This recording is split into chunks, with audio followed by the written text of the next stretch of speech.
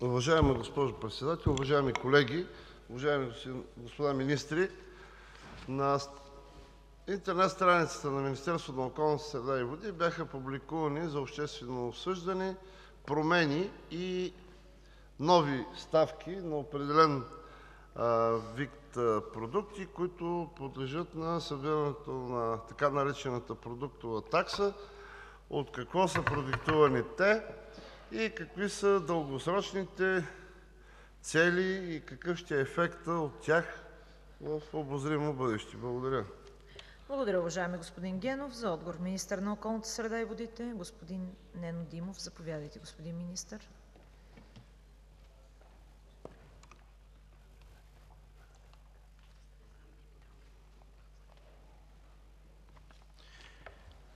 Благодаря, госпожо Председател. Само искам да се обърна към господин Владимиров, ако ми разрешите. Ще прегледам много внимателно последното нещо, което съм искал по някакъв начин да проявя неуважение.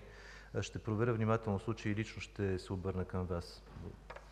Уважаема госпожо Председател, уважаеми дами и господа народни представители! Уважаеми господин Генов, към момента Република България е изградила успешна система за разделно събиране, рециклиране и оползотворяване на масово разпространени отпадъци, включително излезлите от употреба моторни превозни средства.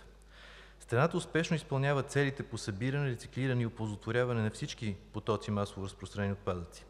През този месец беше окончателно приет новият законодателен пакет отпадъци, с който се поставят нови високи цели за рециклиране.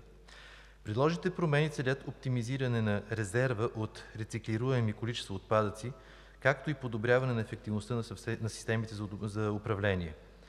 Досега тежкотоварните и пътническите превозни средства бяха извън обхвата на Наредбата и затова оставаха встрани от специфичния контрол, който се извършва по отношение на масово разпространените отпадъци и конкретно събирането, разкомплектоването на излезли от употреба моторни превозни средства от леките категории, за които се изпълняват целите. Това поражда две негативни тенденции. Първо, извършване на нерегламентирано и неекологосъобразни дейности по разкомплектоването на излезлите от употреба моторни превозни средства категорията N2, N3, M2 и M3, в това число изоставяне, нерегламентирано натрупване на отпадъци, изгаряне на масла, изгаряне на пластмаси, изтичане на опасни течности, охлаждащи течности, фреони от климатичните инсталации и други. И второ, поради липсата на нормативно поставени цели за висока степен на рециклиране, както при категориите М1 и N1, има интерес единствено към съдържанието на метал. По тази причина останалата част от тези превозни средства не се рециклира и така се губят значителни количества рециклируеми суровини. С цел екологосъобразно управление на излезлите от употреба моторни превозни средства от категориите М2, М3, N2 и N3, осигуряване на по-голямо количество рециклируеми суровини и тяхното преработване в страната се предлага въвеждането на разширена отговорност на производителя за тях, като се поставят и количествени цели по събирането, повторната употреба и високата степен на оползотворяване и рециклиране. Гарантира се не само екологосъобразно третиране като цяло, но и високата степен на рециклиране, надхвърляща чистия пазарен интерес от стойностите на основните материали и компоненти. Предложената цел е 96% оползотворяване и 94% рециклиране на един брой излязло от употреба моторно превозно средство. Резултатите, които се цели с промените в Наредбата, е да се предотврати изхвърлянето на опасни вещества, нерегламентираното третиране на компоненти и части от тези категории над 3,5 тона, което е свързано с особено висок риск за здравето и околната среда. Благодаря. Благодаря, уважаеми господин Министър. Господин Генов, заповядайте за реплика.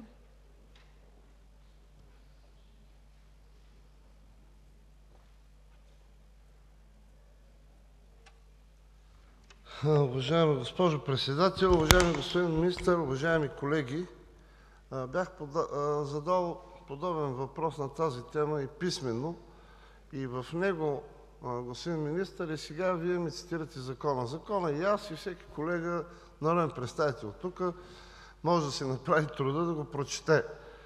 Въпросът е: това вдигане, освен всички цели, които изброихте – процента на оползотворяване, процента на рециклиране, кого удря той?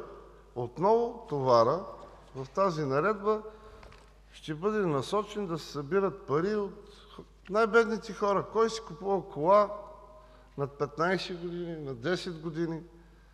Хората, които нямат финансовата възможност да го направят, ще го правят.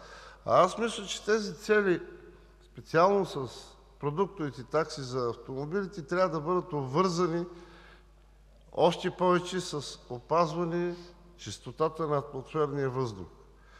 В отговора си аз това не го чух. Казахте общо въздействие върху околната среда. В крайна сметка един от основните замърсители на въздуха, освен битовите потребители на твърдо гориво, са и автомобилите. Всички тези емисии, които биват изпускани от тях, в крайна сметка замърсяват чистотата, намаляват чистотата на въздуха. И не виждам никаква обвързаност, според мен, на всички тези продуктови такси да бъдат насочени за постигането и на една такава цел. Благодаря. Благодаря, уважаеми господин Генов. Господин Министър, за дуплика заповядайте.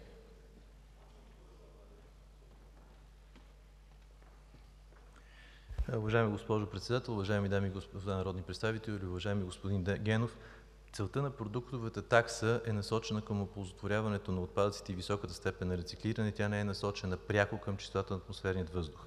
Но аз споменах изрично, и това е косвеният ефект върху чистотата на атмосферния въздух за изгарянето, нерегламентираното изгаряне и безконтролното на масла, на пластмаси и прочее, което е един от проблемите, които колкото по-малко се контролира, толкова повече всъщност има възможност тези е, отпадъчни вече продукти да бъдат изгарени, а това е определено вредно за околната среда. Всъщност, е, когато говорим за леките моторни превозни средства, които до сега бяха обхванати, там има много ясна посока къде отиват тези масла и начин на проследяване, за да бъде предотвратено тяхното изгаряне. От друга страна, когато говорим за тези над 3,5 тона, които до сега не бяха обхванати в директивата, те можеха да бъдат изхвърлени навсякъде, включително да бъдат изгорени. Така че тук ефектът върху опазването на чистотата на въздуха е косвен, но той е много съществен. Ако ние предотвратим достигането до домовете на хората на е, вещества, които са вредни за въздуха да бъдат изгарени, това е една от стъпките. Когато говорим за качеството на въздуха, там има пакет от мерки, които ние прилагаме и това е един от многото елементи, не единственият. Отново се връщам, продуктовата такса е еднократна, тя се събира само при първа регистрация и тя цели на края на цикъла на живот да имаме по-висока степен на рециклиране и на повторна употреба, което е цел. Той не може да бъде направен по чисто пазарен механизъм, защото метал очевидно има своите е, приложения, но почти всички останали части трябва да бъдат подпомагани по този начин. Благодаря. Благодаря, уважаеми господин Министър.